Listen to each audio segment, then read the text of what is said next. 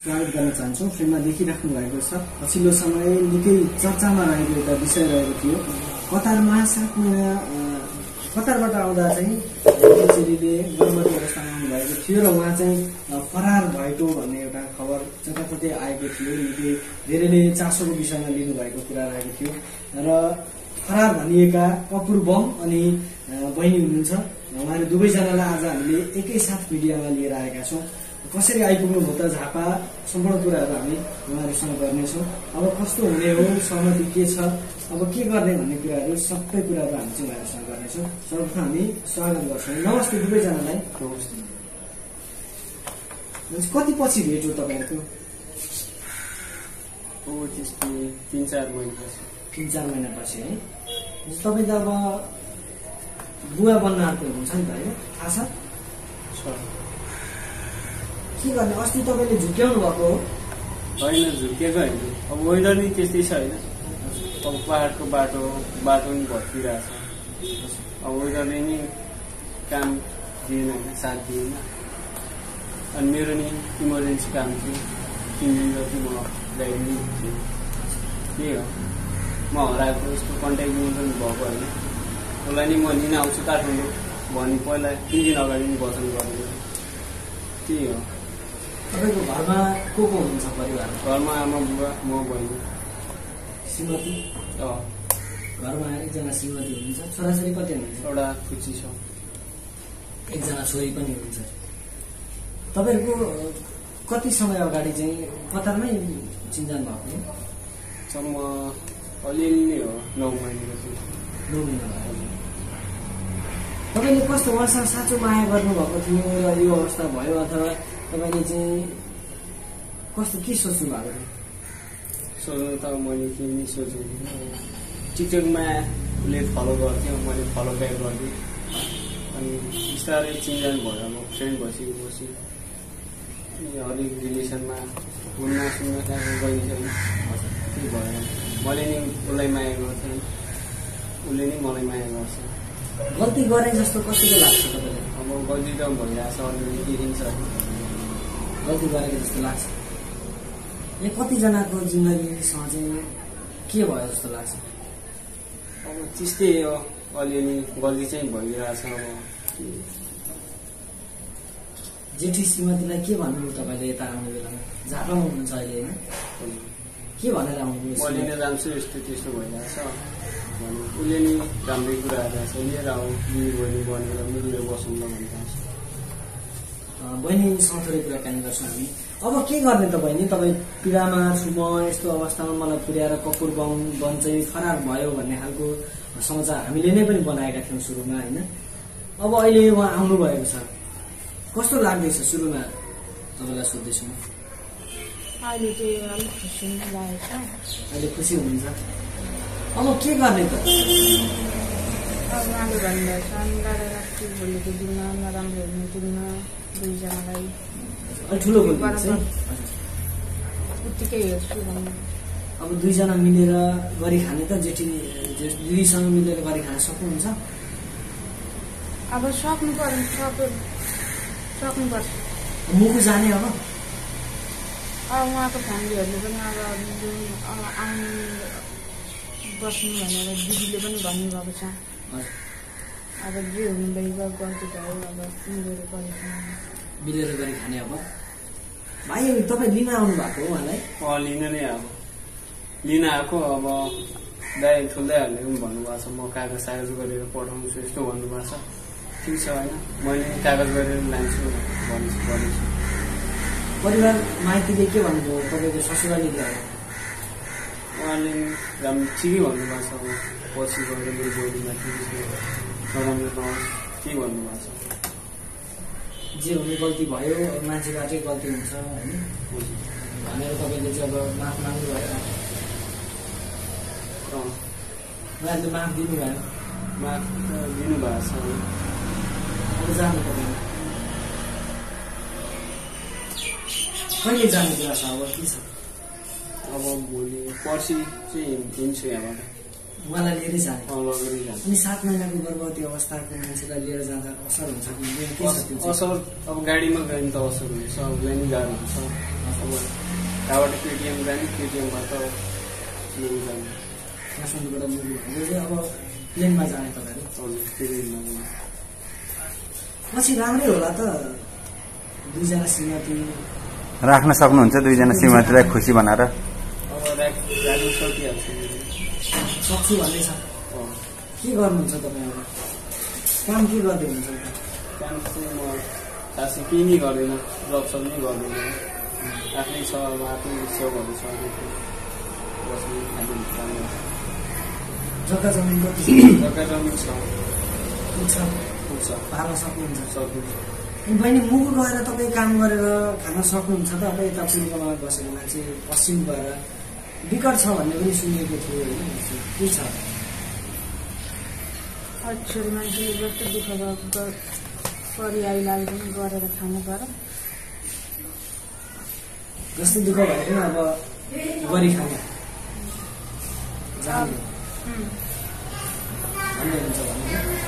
भोलि गएर उसले बकैदा कागज गरेर लानु लिएर जानुपर्ने यहाँबाट।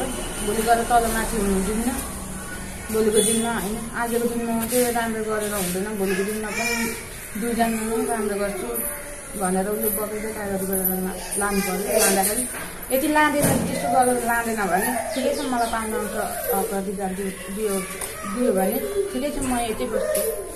के गर्ने होइन मैले त अब दुइटैलाई बराबर हुन्छ होइन धन सम्पत्तिदेखि लिएर सबै बराबर हुन्छ।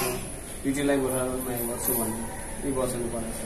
अनि जस्तो तपाईँले एकजना श्रीमती हुँदाहुँदै होइन एउटा चेलीको जिन्दगी त बर्बाद भयो भन्ने नै हो नि त एक किसिमले होइन होइन जेठी श्रीमतीको पनि उहाँ पनि त पीडित हो नि त जेठी श्रीमतीलाई पनि त कान्छी ल्याउन मन थिएन होला होइन? त्यो अवस्थामा भयो अब पनि फेरि तपाईँले यस्तो गर्नुहुन्न भन्ने भन्नु त फेरि पनि यस्तै हुन्छ होला नि त?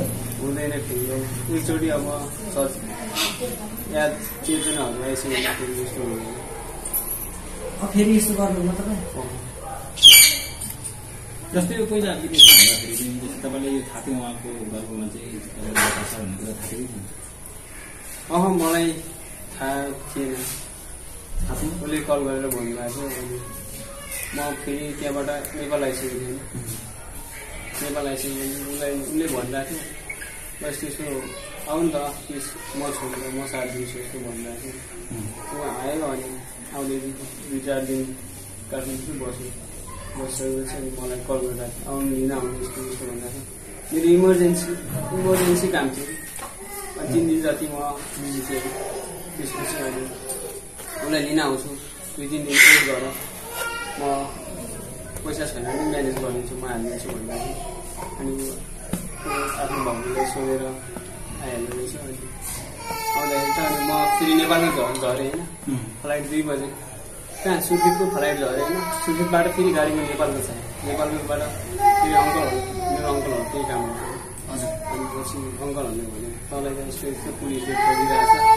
अमुक गएँ भने मलाई दुई बजी फ्लाइटमा पुग्नु पर्थ्यो म लिन आउँछु भन्दै भनिरहेको त्यही जस्तै अनि उहाँ अब मिडियामा पनि आएर त्यो न्याय माग्न आइपुग्नु पर्ने अवस्था चाहिँ कसरी सिर्जना भएको वास्तवमा होइन उसले जम्मा तिन दिन वेट गर्न सकेन होइन अहिले मिडिया मिडियामा पनि यत्रो हजुरहरूले र मलाई पनि त्यत्रो टेन्सन हुँदैन मैले स्वीकारेँ मैले स्वीकार्छु तिमीको भएर बस सबै मैले कुराहरूलाई सेयर गरिसकेको थिएँ ऊ होइन भने मैले ठाउँमा पनि होइन जे भने म उनीहरू अब टेन्सन सिडिया पनि गएर काम छैन भनिसकेको थिएँ अब उसले म तिन दिन इमर्जेन्सी मेरो म थिएँ त्यही भएर उसले मिडियामा आएर यस्तो त्यसो भन्यो। तपाईँले खुसीले लानुहुन्छ कि म बाध्यतामा परेँ अब? अब खुसीले लानु पर्यो नि। बाध्यता बाध्यता पनि भयो अब खुसीले पनि लाँदैछु। बहिनीको चाहना जाने नै उहाँ उहाँको साथ हो नि तपाईँको चाहिँ सुरुमा चाहिँ तपाईँले उहाँसँग ढाँटेर यसरी रि- रिलेसन राख्नु भएको अँ, उसले नि मलाई माया गर्थ्यो मैले नि उसलाई टु माया गर्थेँ होइन। थियो अब उसको उसलाई म उसको गाडी छोडिदिन्थेँ उसको ड्युटीमा म गाडी लगेर पनि ड्युटीमा छोडिदिन्थेँ। यो घरको माया। त्यसै तपाईँले त आफ्नो यता घरमा चाहिँ श्रीमती छोरी अथवा नानी हुँदाहुँदै त्यही नै गल्ती हो एकजना चाहिँ भनौँ महिलालाई चाहिँ त्यसरी ढाँटेर तपाईँले रिलेसन राखेर अहिले यस्तो अवस्था आयो होइन। यो चाहिँ सबैभन्दा ठुलो गल्ती हो नि तपाईँको। अब ननाटेको भए त उहाँले पनि तपाईँलाई त्यसो हेर्नुहुन्न थियो होला अथवा तपाईँसँग हुनुहुन्न थियो होला रिलेसन राख्नुहुन्न थियो होला। तपाईँले त मैले बिहे नै गराएको छैन भन्नुभएको छ नि हो। अनि जस्तै उहाँले भन्नुभयो नि तपाईँलाई भने तपाईँको बच्चा छ भनेर भनेपछि तपाईँले श्रीमतीलाई चाहिँ कसरी सुनाउनु अप्पी श्रीमती जेसु श्रीमती। उसको र मेरो त अब सबै सेयरिङ हुन्छ। उसले नि उसले नि उसलाई भनिरहेको थियो फोन गरेर आउनु त दिदी बहिनी मिलेर बसौँ ल भनिरहेको थियो उसलाई सोद्धा नि हुन्छ उसले नि कल गरेर अगाडि नै अगाडि धेरै अगाडिको कुरा उसले नि भनिरहेको थियो होइन? मैले दिदीलाई चाहिँ मै कतारदेखि नै थाहा छु। मैले अब यस्तो यस्तो भएको छ भन्दाखेरि अब उहाँहरूसँग के भयो बिचमा आउनु त्यस पछाडि अनि दिदीले पनि भन्नुभयो अब जे हुनु भइगयो अब तिमीहरू दुईजना गल्ती भयो। अब आउ मिलेर गरेको पनि बसेर। अब के गर्नु? यस्तो रहेछ भनेर भनेर दिदीले पनि त्यस्तो तर बिचमा ऊ हराएपछि मैले त। उहाँ। हराउन पनि- भन्दा नि मसँग कन्ट्याक्टै थिएन। बस्नु कि अनि घरतिर पनि अनि फोन कहाँ कहाँ कुनै फुलाइहालेँ होइन।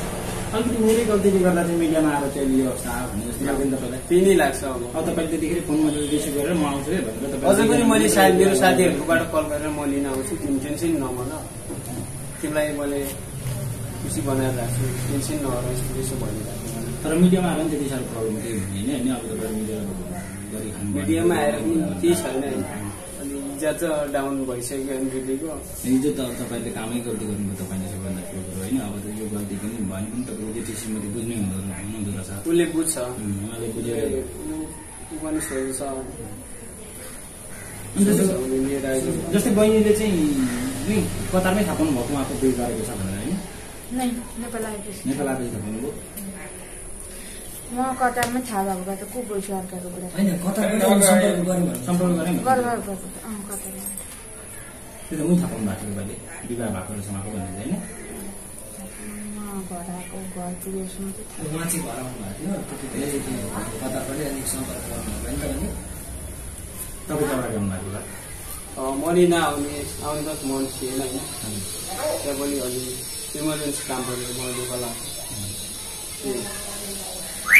अब के के के चाहिँ सहमति भयो? के के सहमतिमा चाहिँ तपाईँहरू अब भन्नु मिल्ने हुनुभयो अथवा जाने हुनुभयो अब सहमति त के भएको छ कि अब अब दुइटैलाई राम्रोसँग राख्ने अब मैले स्वीकारिसकेँ होइन।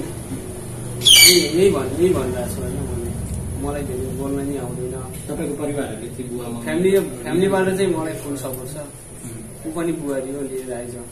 गल्ती गरिहालिस् यस्तो त्यस्तो भनिरहेको छ। त्यही नै हो मलाई धेरै बोल्न नै हुँदैन कसलाई एक्सिडेन्ट पऱ्यो भने ठिकै छ तपाईँहरूको दुईजनाको होइन दुईजना भन्दा पनि तपाईँहरू अब तिनजना हुनुहुन्छ होइन? तिनजनाको जिन्दगी सुखमय बितोस् होइन? तपाईँहरूले दुवैजना श्रीमतीलाई खुसी राख्न सक्नु हुनेछ भन्ने पक्कै पनि आशा राखेका छौँ होइन? पछि केही समस्याहरू नपरोस् कान्छीलाई पनि अथवा जेठी दिदीलाई पनि जो उहाँ हुनुहुन्छ उहाँलाई पनि तपाईँले कान्छीलाई ल्याइसकेपछि कान्छीलाई मात्रै हेर्ने जेठीलाई नहेर्ने अथवा कान्छीलाई यहाँबाट लगिसकेपछि यसको त टाढा छ होइन? भनेर त्यो हेला हिंसा कसैलाई पनि कसैबाट नहोस् होइन? त्यो त अब मान्छेबाट होइन? अँ, गल्ती भइगयो। गल्ती भइहाल्यो। गल्ती भइसकेपछि अब मरेको कुरा किन निकाल्ने? अँ, रियलाइज गर्नुहोस् तपाईँले। कसैलाई पनि तलमाथि नगरिकन समान रूपले दुईजनालाई लिएर जानुहोस् होइन? शुभकामना पनि छ तपाईँलाई। अँ, हामीहरूले सो नै के नै भन्ने। अब बहिनी के भन्नु जतिजनाले तपाईँहरूको यो विषयलाई लिएर चाहिँ होइन? अब चिन्ता पनि व्यक्त गर्नु भएको छ कतिजनाले राम्रो धेरैजनाले चिन्ता व्यक्त गर्नुभएको छ। सङ्घ संस्थादेखि लगेर व्यक्तिगत रूपमा होइन? अन्तिममा अब के भन्छु भने अब आउनुभयो होइन? यत्रो दिनसम्म झुट बोल्दै हामीले गर्दाखेरि अहिले बल्ल बल्ल आएर पनि स्वीकारेर अब जाँदै हुन्छ होइन? घर परिवारले पनि अब मिलाएर राख्छु भनेर गरिरहनु भएको छ। यही भन्छु। के भन्नु? अब अब तपाईँहरू गरी मिलेर खाने नै भनेर अब गरी खुसी हुनुहुन्छ त्यसो भने। हजुर।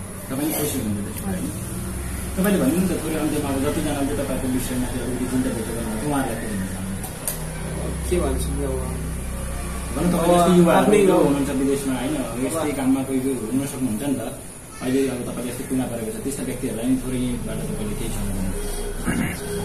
म मलाई बोल्न नि